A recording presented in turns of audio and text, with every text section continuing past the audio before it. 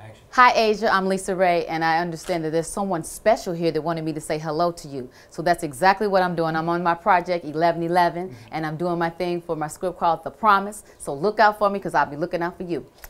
Peace, sweetie. Thank you.